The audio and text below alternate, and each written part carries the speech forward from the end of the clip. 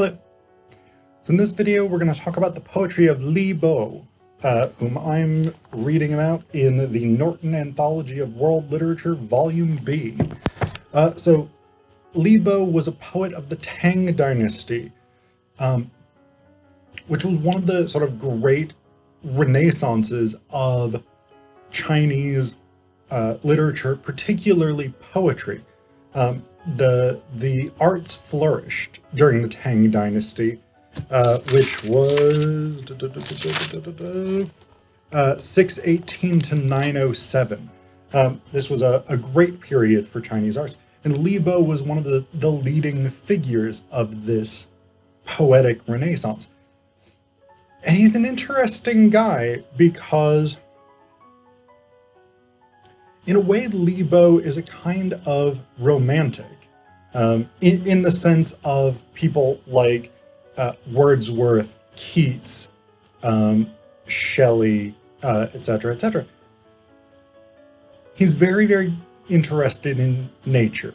Um, a, a, lot of the poems, at least that we get in this anthology, uh, which is a tiny fraction of his, his total output, um, but a lot of the poems are are very interested in nature. They're interested in this in this sort of ethos of sucking the marrow from life and stuff like this. And and he writes a lot about drinking. He he writes about socializing, but he also writes about communing with nature in sometimes complex ways.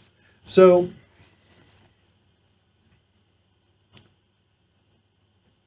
there are a couple of poems that I think give us a more sort of almost simple, traditional, like communing with nature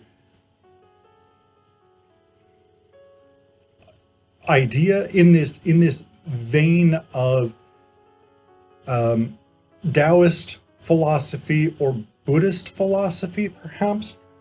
So, for instance, this poem, and a lot of these are fairly short. A lot of these are quatrains. Um, Sitting alone by Jingten Mountain, or Jingteng Mountain. The flocks of birds have flown high and away, a solitary cloud goes off calmly alone. We look at each other and never get bored, just me and Jingteng Mountain. So again, this idea of like communing with nature, of being at one with this natural space and finding maybe a centering, finding a maybe a purpose, finding some sort of balance with nature, with the stability of nature, the solidity of nature, I think is is one of the major threads of Li Bo's uh, poetry. But it's complicated. Oh, it's complicated. Um, if we look at a poem like Question and Answer in the Mountains, we start to see a little bit of this complexity being developed. Uh, so this poem is, They ask me why I live in the green mountains. I smile and don't reply. My heart's at ease. Peach blossoms flow downstream, leaving no trace, and there are other earths and skies than these. Now this is a cool poem. Because we've got the first two lines. They ask me why I live in the green mountains. I smile and don't reply. My heart's at ease. That idea of like communing with nature, finding that balance, finding, centering yourself in nature. But, aha, the third line takes us in a slightly different direction. Peach blossoms flow down downstream, leaving no trace. The transitory nature of the world the world is not eternal. The world is not stable. The world will change. And again, this is this is a very Taoist idea. Um, I mean, the the way that I I always think about Taoism is like a river. The way the Tao is moving. It it moves to its destination, and you can't resist it. You can struggle against it, but you will still be moved to the the destination of the way. Like the way will take you, whether you resist it, whether you go with it, or whether you simply allow it to occur. And then again, we've got this fourth line of the quatrain, and there are other earths and skies than these. Again, the instability of nature, not in the sense of like chaos and violence and destruction and things like this. Although Li Bo does touch on those. Like his, his poem South of the Walls We Fought is an anti-war poem critical of um, the, the periodic warfare of the Tang dynasty. But this is more of an existential poem. Question and Answer in the Mountains. This is more of an existential concern with the changing nature of existence. We might even think about it almost in terms of uh, the famous line from Hamlet. There's more that's there. Uh, there are more things on heaven and on earth, Horatio, than are dreamt of in your philosophy.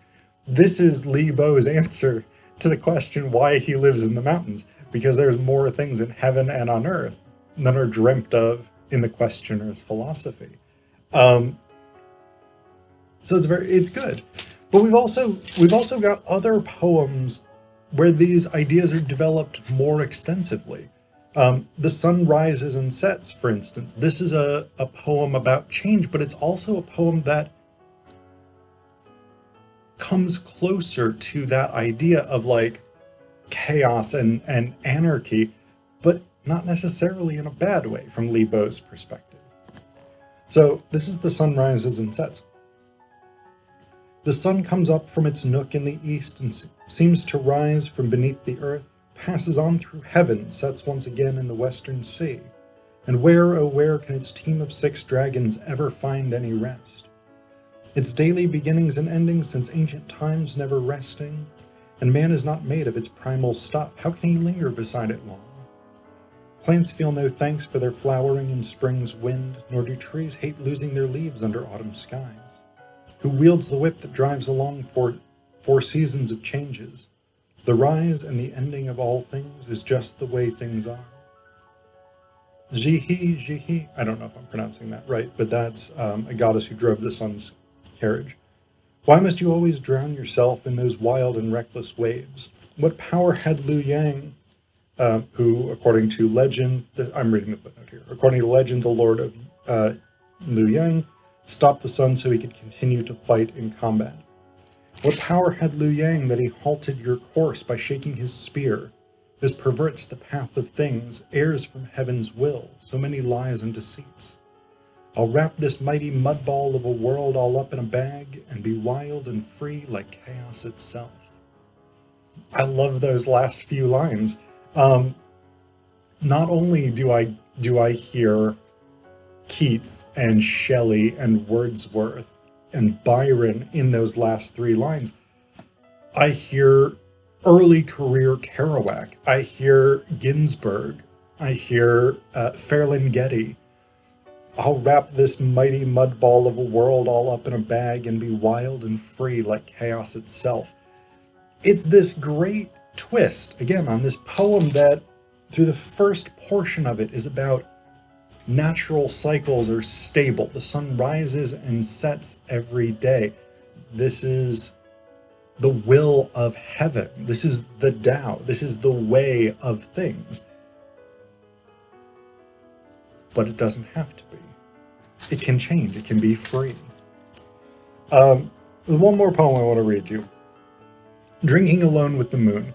Um, and again, this is another very cool, like communing with nature, but a more active one that seems much more self-aware of communing with nature as an act that occurs within the self.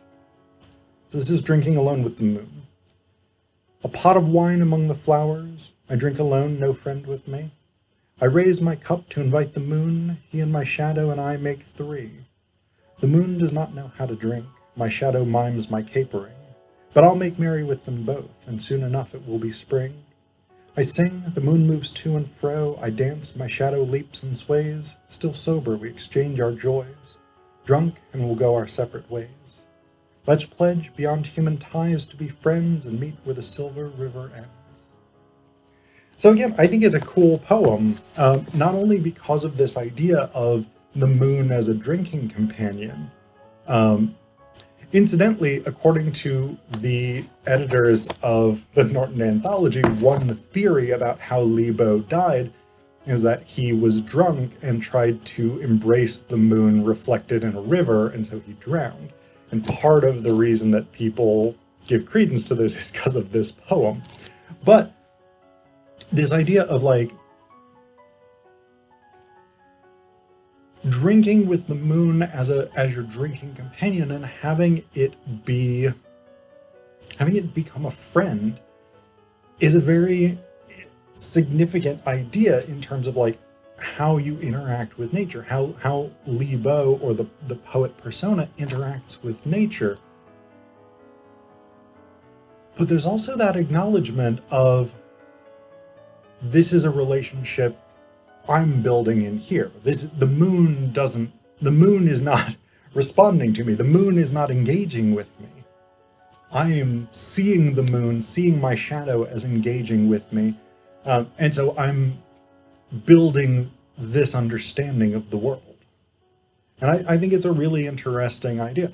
Because again, it, it complicates this approach to nature poetry and the importance of the natural world and finding balance in it. It raises these significant questions about how we as human beings do that.